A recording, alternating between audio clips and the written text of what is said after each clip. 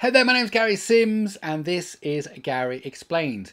Now if you've ever done a project with a microcontroller board like from the Arduino board or the Arduino clones, maybe an ESP32 board, Raspberry Pi Pico, the Challenger 2040, all the boards from Adafruit, there's so many boards, you've probably used the Arduino uh, IDE use the Arduino IDE to write the program uh, and then upload it to the microcontroller board.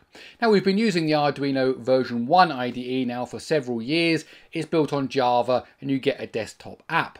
Now, however, we have the new Arduino version 2.0. So it's built on a whole new set of technologies, no longer using Java, it's now using web technologies, JavaScript, that kind of thing. And it allows you the same thing, to write your code and upload it to the board. The interfaces are very similar, it's new, it's different, but you familiarize yourself with it very, very quickly. In this video, I want to look at the new features and generally overview of the Arduino 2.0 IDE. So if you want to find out more, please let me explain.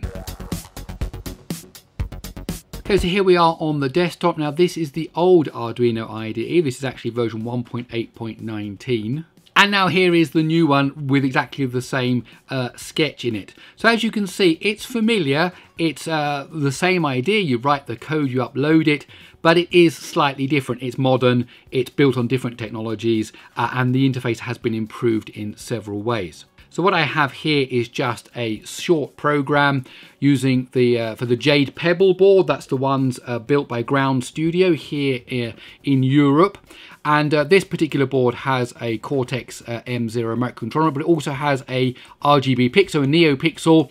And so this very simple program uses the Adafruit library to uh, run that. Now the 2.0 IDE has got lots of interesting things you can do in it. First thing, let's make the font bigger. That's always a good one. So if you do Control and plus, we can actually increase the size of the font, which helps when I make these videos. Let's just make that even a bit bigger. There you go. That looks very nice. So if you like to see your code minuscule on the screen, you can have that. If you like to see it uh, bigger, then you can have that as well. Uh, and as I said, great for when I make my videos. Now also, we've got themes. So this is very white. It's if you're programming for many hours, you've got the brightness from your screen, all these big white areas that are just kind of uh, making it quite bright in your eyes. If you go over to File and to Preferences, then we can see that there is a theme section now. We can go to Arduino Dark and that's their default dark one. Personally, I prefer Theia Dark. Now, Theia is the name of the framework that this is built on. Theia is, in fact, an open source framework for building IDEs. Uh, and it's built using, as I said, the latest web technologies. So that's Electron, JavaScript, and so on. Now, if you click on that, you'll see, to me, it looks very similar to the one you get inside of Visual Code.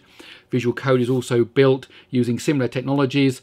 Uh, so I like VS Code here, Visual Studio Code, and I like the colors. I'm used to them, so that is good. So I like that. So if you want dark theme, now you can get it, uh, and that is very helpful, particularly when you're doing lots of programming and you don't want that bright white light shining in your eyes all the time. Now another new feature is autocomplete. Let's just add in a few blank lines here so this comes into the middle. Now if I go in here and start to type, for example, serial dot, it now tells me all of the functions and things that I can use related to that class. If I start trying print, then I can get print line, and then I can type in whatever I want to type in there, and that's really helpful. In fact, if you hover over things, it gives you a kind of an idea of where that came from. So where is this variable uh, strip? Well, actually, it's an Adafruit NeoPixel uh, instance. Okay, and I, and I actually say, well, go to the definition of that, and look, it jumps up here to the top, tells me where it came from. There's a similar feature where you can actually do, this is right hand click peek definition and it'll actually show you the code where this is defined. So here it tells you where the serial code is defined. And in fact, if we close that, if we do right hand click go to definition, here we can actually see all the source code there that's inside of that module. We can start to look at how it works, understand the parameters, understand how we want to use it. So that covers all of the Arduino stuff, C and C++ stuff. Great way to help you along in your programming.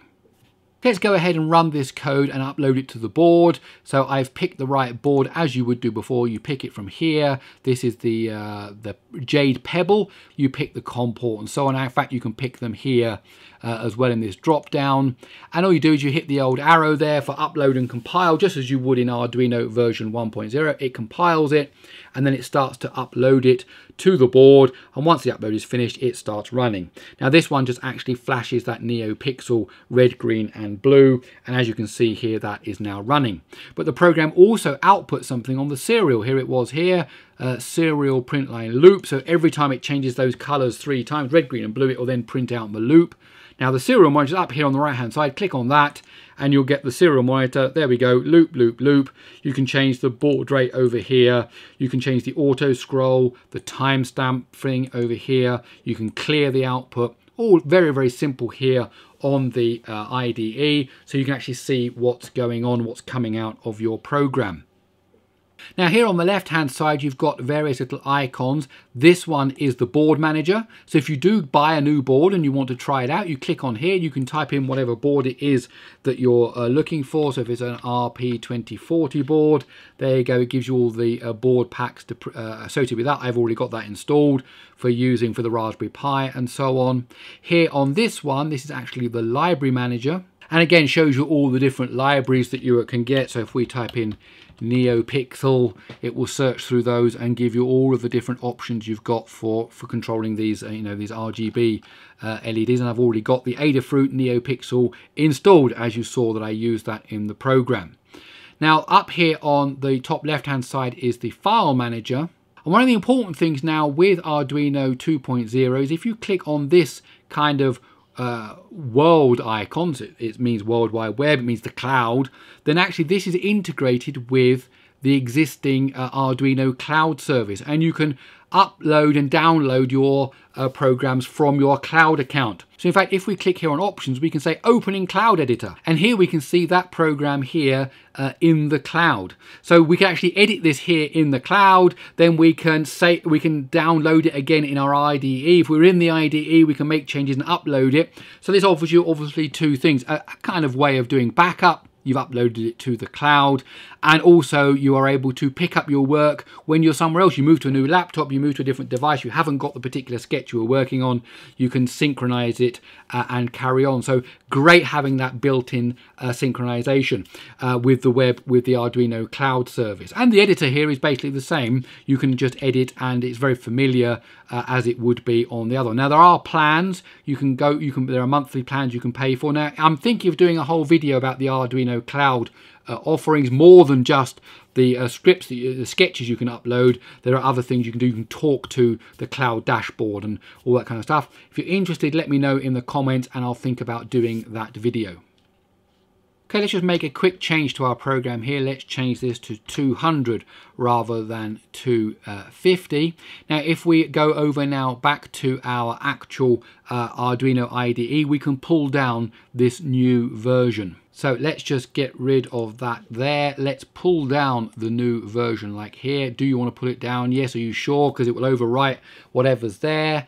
Okay, and now we can double click on that to open it. As we can see down here, that's been changed to a 200. And it works in the opposite direction as well. You can upload to the cloud the changes that you have made locally. Okay, so that's basically it as a quick overview. We've got the autocomplete, we've got dark mode, we've got peek and go to definitions. You can use the cloud. Uh, you can change things like the font size. So generally, I've had very few problems in running this. There are a few minor bugs that will need to be tweaked over the next little while. Certainly now, as lots and lots of people are starting to use it, those bug reports will come in. But it's definitely a worthy upgrade. And about time too.